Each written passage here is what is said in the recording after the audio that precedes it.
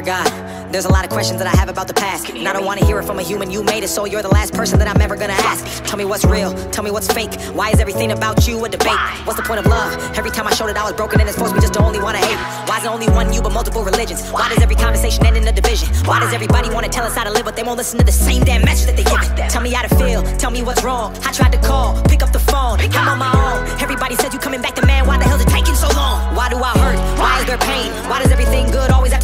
Why does everybody try to profit off another man's work then destroy it just for monetary gain? Tell me, are you black or are you white? I don't even really care. I just really wanna know what's right. They've been saying one thing, but I've been looking in the book, and it seems like they've been lying for my whole damn life. Tell me where I'm going.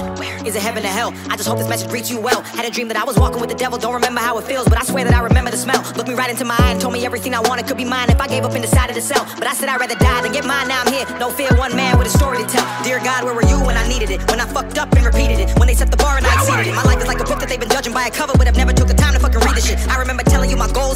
you didn't even answer, so I guess you didn't believe in it. I remember sitting with a gun to my head trying to ask you for some help, but I guess you didn't believe it. I don't want religion, I need that spirituality. I don't want a church, I need people to call a family. I don't wanna tell my sins to another sinner just because he's got a robe and he went to some academy. I don't wanna read it in a book, I wanna hear it from you. Don't wanna learn it in my school because they're hiding the truth. Don't wanna talk about it to another fucking human being, and that's the only reason that I even step in this booth. Dear God. How do I take this darkness and turn it into light? How do I believe in a concept where I speak to a man I've never seen with my own two eyes? How do I know that religion wasn't made just to separate the world and create a whole disguise just to keep us in these chains while the rich get richer and the poor pray to you and perpetuate a lie? How do I know this ain't some big joke? How can I have faith when there is no hope? How the hell does one man have a hundred billion dollars and we still have people on the street that are broke? There's a lot of things I wanna talk about and get off my chest. I can't sleep cause the devil won't let me rest. I used to know a fucking pastor in a church and I can still hear the screams of the kids he will fucking molest. Dear God!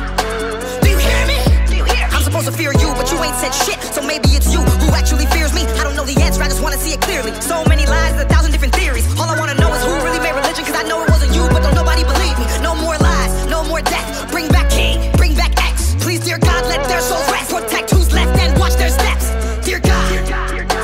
I don't wanna have to ask you again. I just hope that you know that I'm still a believer, so I'll end this all by saying amen.